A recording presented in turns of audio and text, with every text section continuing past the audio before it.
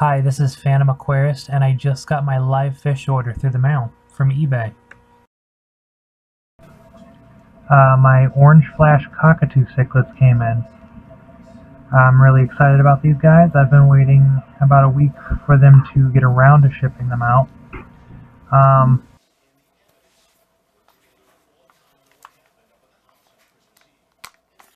sorry, I only have a big knife. I'd actually can't find my normal knife, so it's going to be interesting.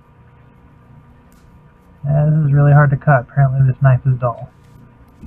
But, uh, anyways, back to the cichlids. Uh, I was trying to find the normal variant, uh, like cheetah print one, or I don't know what the specific name of it is, but I ran into orange flashes, so I ended up getting these. They're really pretty. They're like neon orange, so they're very vibrant and very pretty. This really is hard to cut with this knife. um,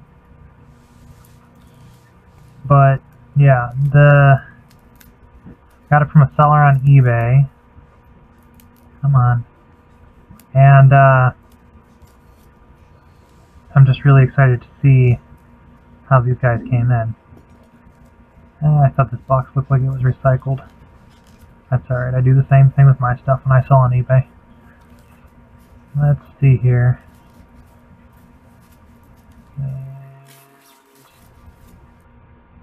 we have the same stuffing that uh, the same kind of stuffing that we used was used when I did my Imperial Tropicals purchase.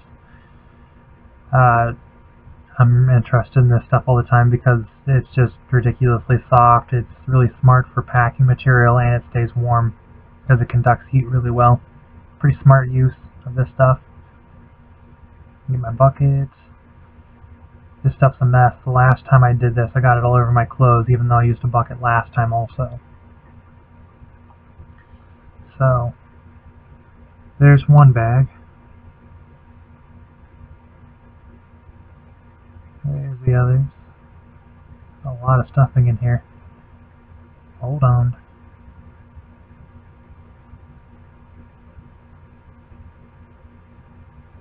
Alright, so there's three bags. They're actually really packed in here. I don't know if I would have done that. Let's see here. These bags are double bagged, so you may not be able to see them well. That makes it really cloudy. It's plastic super cloudy. So, you may not see that, or you may see that. That's actually a female cockatoo. So, uh, sorry if you can't see that, I'm trying. But like I said, these flag bags, my bad flags, these bags are really, really thick. So, not very clear. But yeah, that's a female. And, let's see. That is a male. As you can see, he's a lot more brightly colored than the other one, if you were able to see that once again. But, uh, a lot more brightly colored than the female. Uh, fins longer, uh, way more show-offy looking body. Really pretty. And the last one's supposed to be the female, so let's see here. There's a lot of paper dust stuff on there. Eh, once again, if you can see, that's the female. This one's a lot more lively than the others, so that's a good sign that it's going to stay alive longer. I don't have to worry about it perishing in a new setup tank. But, uh, yeah. Oh, I forgot to mention, yeah, I, uh, for my eBay purchase, I did buy two females and a male just in case the off chance one of the fish died, more than likely and hopefully it would have been one of the females and uh, also then the male had a choice.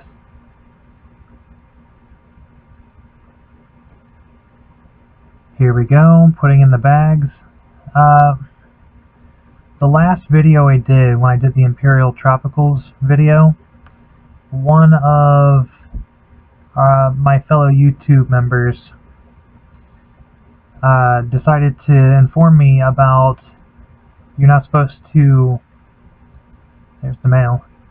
You're not supposed to acclimate fish that have been shipped because they're more prone to dying quickly. Um, I've never heard that, and so I looked it up, and it is a real thing. You're not supposed to acclimate fish when they get shipped. I was unaware of that. And, I mean, it makes more sense that you should acclimate them, but for some reason it makes a whole bunch of, like, pH spike and all the other crazy things happen. And so, I'm going to go through a long spiel about it. But there's the other female. But, um, yeah, it's just, it does a lot of damage, so I'm just plopping them in.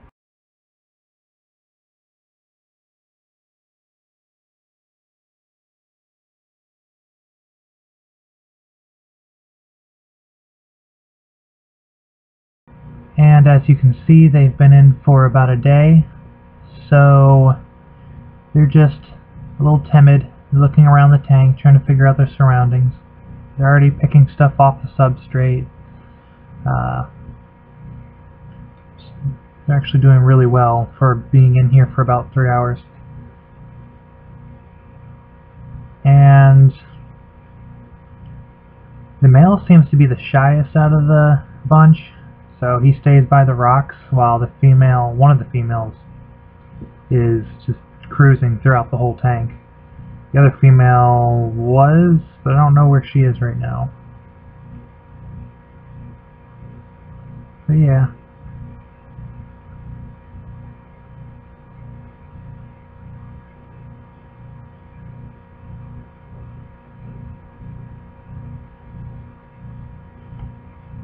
Pretty much the rest of today. This is still day one. Um, I figure I'm breaking this up into parts as I'm speaking. But pretty much since this is day one, all you're mainly going to see is the uh, fish just checking out the tank. They're going to be a little too new to the tank to want to do much else. I probably won't even be able to feed them today, so we'll see how it goes. But yeah, they seem to be doing well. They're not stressed out. They're not hyperventilating. They're not like gasping for air like some fish in new setups.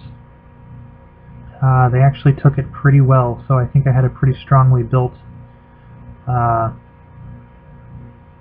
tank waiting for them. Yeah, there, little guy.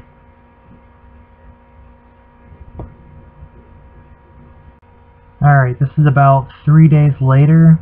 The uh, male and female are doing pretty good. The male is actually following the female, which is a really good sign now for my breeding pair. Um, one downside about the other female, she, I came into, I went downstairs this morning and saw her floating upside down in the tank and not breathing. So she passed away last night, unfortunately. Which stinks. I only had her for a few days. But luckily, my whole plot with the getting more than one female in case one dies or the male didn't like her thing worked out. So it looks like these two are about to breed. So we will see how that ends. Um, I'm really excited. I switched, I've, I've been switching back and forth between the bright light that I had when I put together this setup and the dark one. So,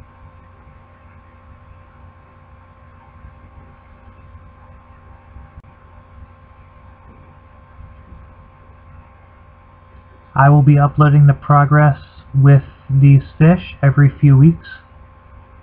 So thank you for watching. If you liked the video, please like and subscribe. Then after you subscribe, hit the little bell icon that shows up next to the subscribe button. YouTube has had a problem lately with unsubscribing people from channels that don't hit the bell. Also, if you have any comments, then please comment. I appreciate the feedback. Once again, this has been Phantom Aquarist. Thanks for watching.